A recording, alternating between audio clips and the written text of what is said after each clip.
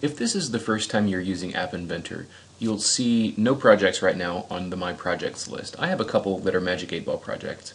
But to begin a new project, you click the button Start New Project.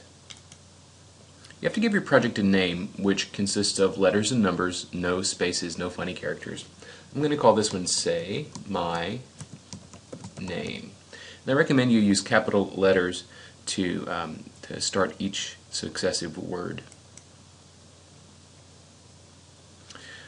When you get into the, the design view of App Inventor, we can see in the center of the screen what the app might look like. Along the left hand side we have the palette which shows the things you can put on your screen. And to the right we have components and properties.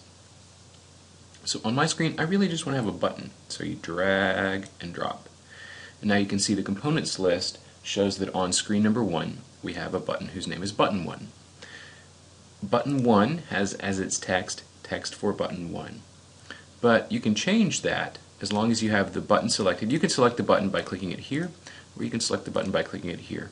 But as long as you have the button selected, then you can edit the properties of the button. This is your button, so I want you to change it to make it say anything you want. I'm going to make my button say, say my name.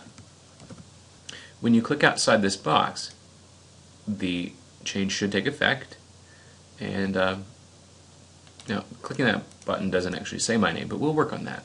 You can change the size of the font, you can change the color of the font, you can change the color of the button, you can change all of these properties and I encourage you to take some time to, to play with that. When you're done changing the properties of your button, we want to make the app say our name. So in order to do that, we're going to need one of these components over here from uh, Media. So I was, I was in User Interface, I go down here to Media and it opens this drawer for Media. Uh, there are things that can play videos and sounds, and we want to use this text to speech. So you drag it over and drop it on your app. And because text to speech is kind of invisible, uh, we don't see it on the screen, it falls down here to this non-visible components area.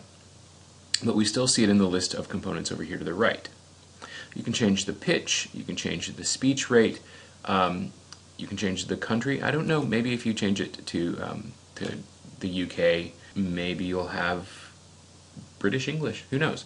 So let's let's now wire up these parts so that when we push the Say My Name button, the text to speech will say my name. So there's another component to App Inventor that is it's like sort of the back side. So we want to flip this app over and wire it up. To do that, you use the blocks.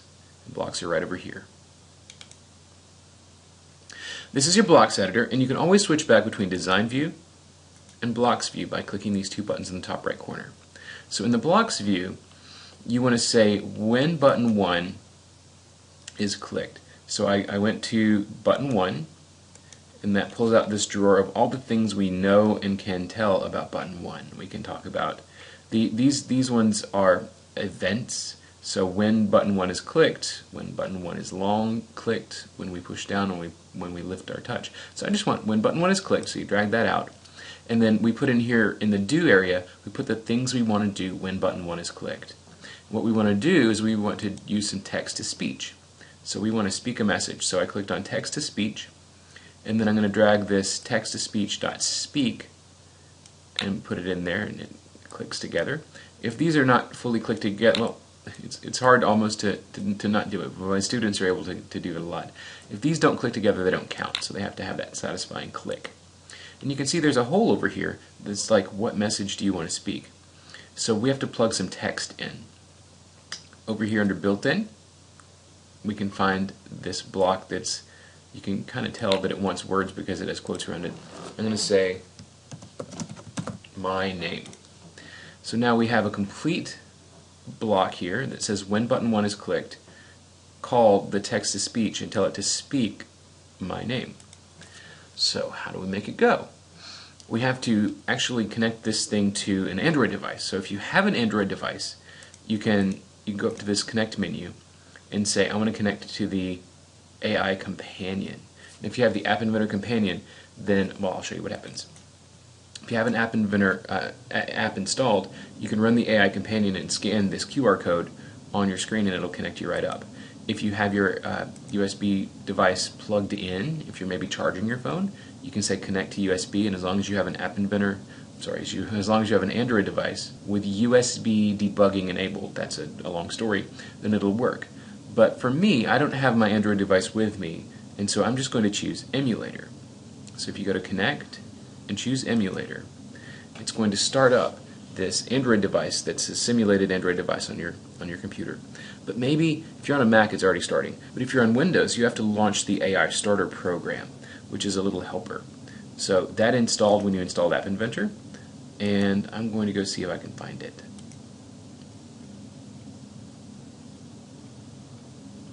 MIT App Inventor Tools, AI Starter.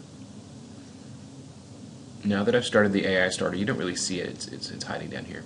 We can do connect to emulator once more.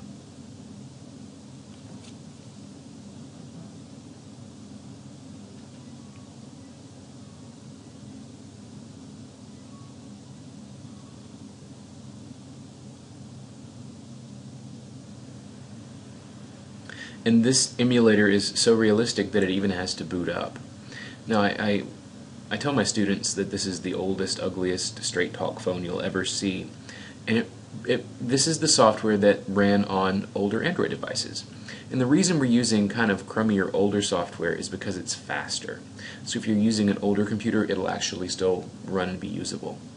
We can definitely install newer emulators, and later in, in the course, you'll be using a, a, more modern emulator with modern software development tools. But this this will get us where we want to be today. Don't touch the emulator, don't worry about sliding to unlock, just wait for this countdown to finish. And once it does, then your app should automatically launch by itself. If it doesn't, and believe me, sometimes it doesn't, you can go to Connect, Reset Connections, and Connect Emulator.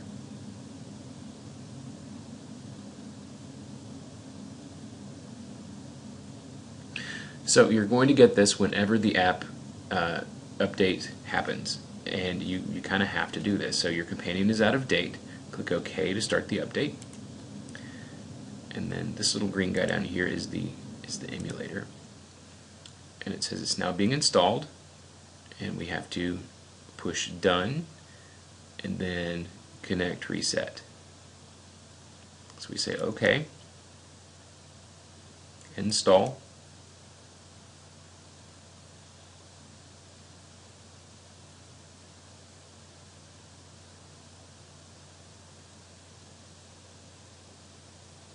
Now instead of saying open, here you have to choose done, and then we need to restart. You dismiss this message, you choose connect, reset connection, and then connect to emulator one more time. And it's basically going to boot up once more, and then our app should load.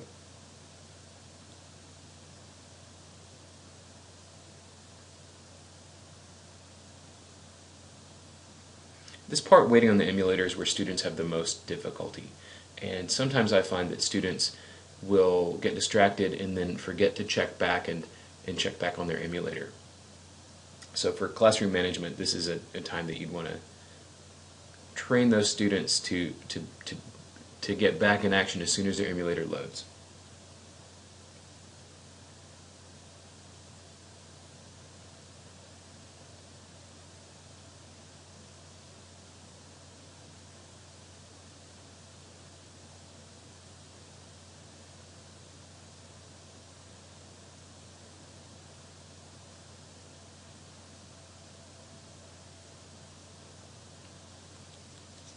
So if you've already forgotten, we are going to have a button that says say my name and then when we push the button we should hear the little computer voice say my name.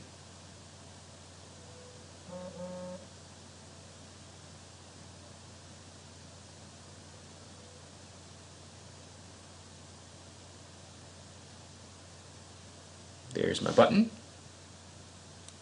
My name. So I don't know if you were able to hear that on the recording my name. But it says my name. And we can change that to any name you want. Um, my name is Daniel Moix. I'm not sure if the app inventor knows how to say the word Moix, but we'll find out. Daniel Moix. Hey, good job, got it. So you can change the text to be your name or any message you want. When you teach your students this, um, the, the, the kind of the magic click is when they realize, oh wow, I can make this say anything. Well, that's it. There's Say My Name. Play with that.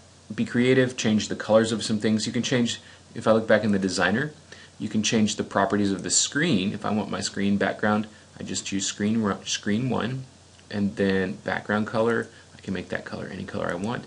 And the neat thing about App Inventor is as soon as you make that change, over here in your emulator, that change is current. It's automatic. You don't have to restart. You don't have to reboot. Usually, you don't have to reconnect. When you get a more complicated app, it, it gets it gets kind of hairy. But for now, you are good to go. There's your Say My Name app. Good luck with it.